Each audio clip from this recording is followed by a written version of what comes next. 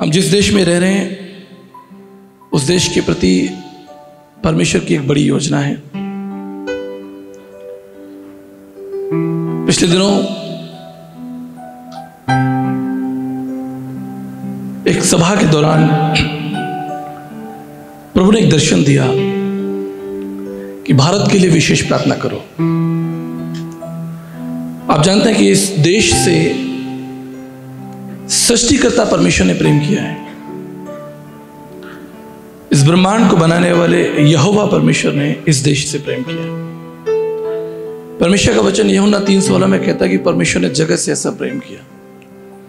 और उस जगत में भारत की एक भूमिका है।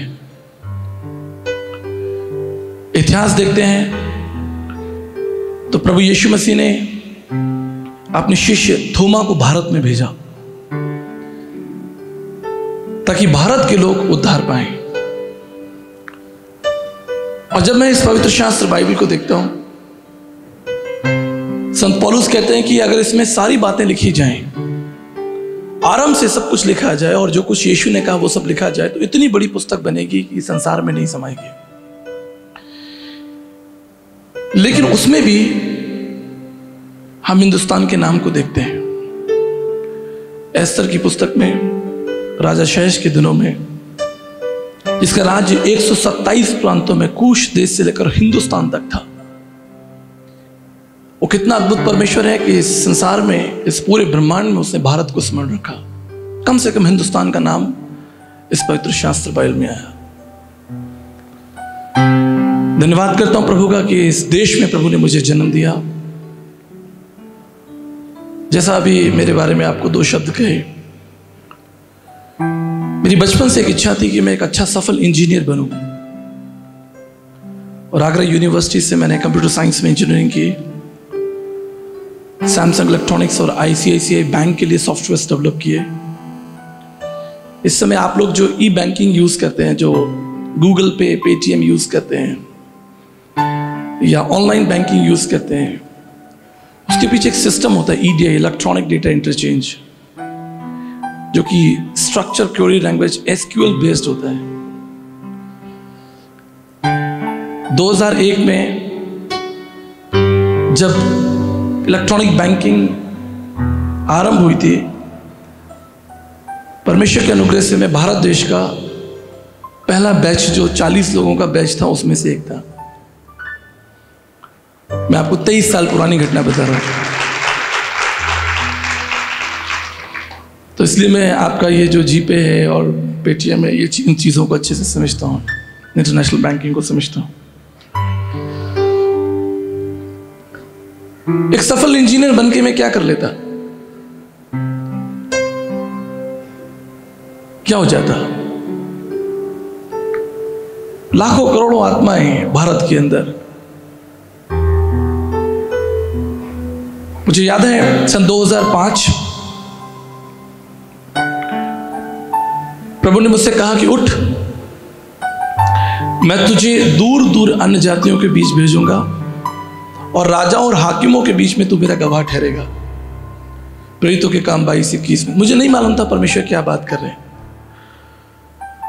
उस रात मैंने निर्णय लिया, साढ़े तीन बजे, और सुबह उठकर रिजाइन किया और सेवा में आ गया। मेरे प्रिय भाई सुदीप दयाल जी यहाँ बैठे हैं, जो मेरे मिंटोर भी रहे कैंपस कृषि संस्था में, जब मैं ट्रेनिंग में था तो आपका स्नेह मुझे मिला, आपका प्यार मिला।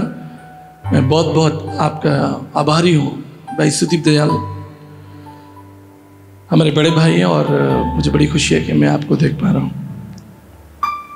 सेवा में आ गया। सब कुछ अच्छा था। लेकिन अभी भी दर्शन की कमी थी।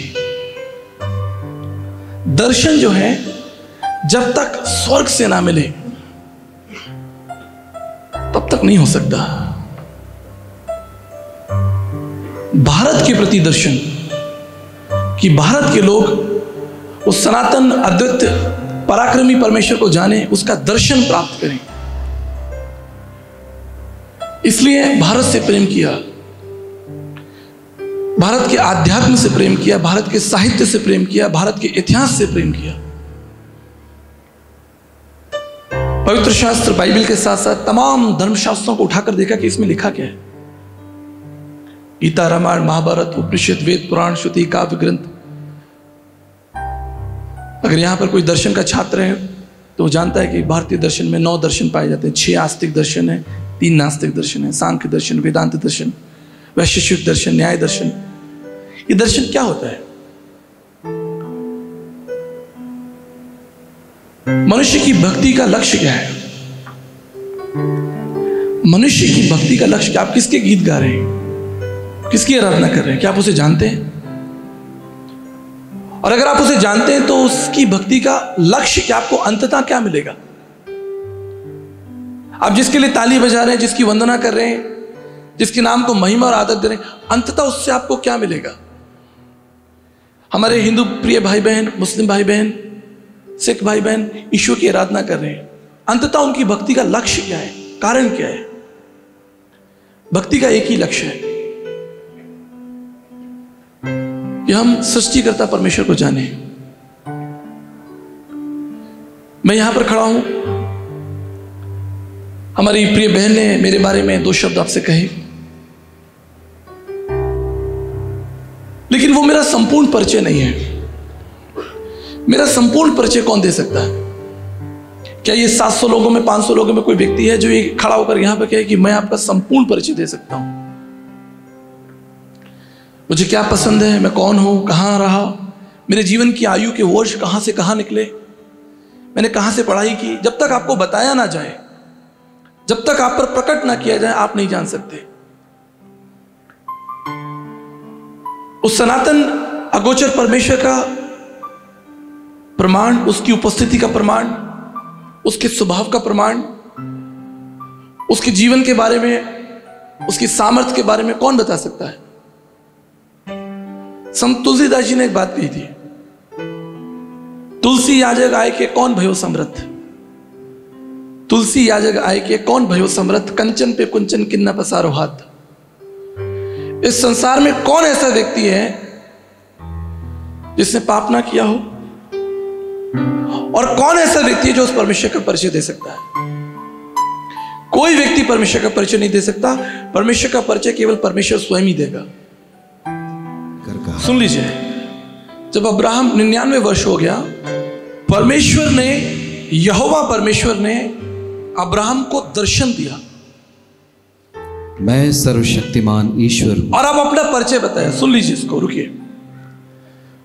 परमेश्वर ने उसे दर्शन दिया और दर्शन देने के बाद अपना परिचय दिया कि मैं कौन हूँ। वो कहता है कि मैं सर्वशक्तिमान परमेश्वर हूँ।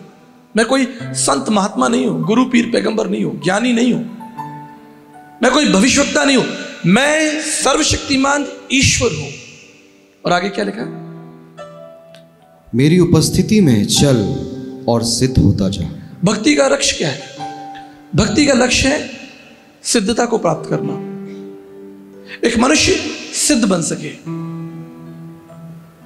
और सिद्धता के लिए एक पैमाना है। हम भौतिक जगत में रहते हैं और भौतिक जगत में जब कोई वस्तु बनाई जाती है, मान लीजिए ये चेयर बनाई जाती है, जिस पर आप बैठे हैं, या कोई भी चीज़ बनाई जाती है, उसका पहले एक मॉडल बनाया जाता है। वो कंपनी एक कार का मॉडल बनाती है, बिस्किट का मॉडल बनाती है, एक साबुन का मॉडल बनाती है। एक कुर्सी का एक मॉडल बनता है और जब वो मॉडल सक्सेस हो जाता है, आगे की सारे जो मॉडल है उसको देखकर बनाए जाते हैं। हज़ारों लाखों कॉपियाँ बना दी जाती हैं उसकी। तो भक्ति का लक्ष्य है उस परमेश्वर की सिद्धता को प्राप्त करना।